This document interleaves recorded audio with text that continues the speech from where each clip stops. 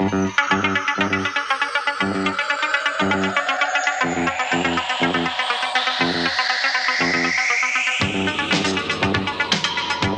exploits d'un chevalier solitaire dans un monde dangereux. Le chevalier et sa monture.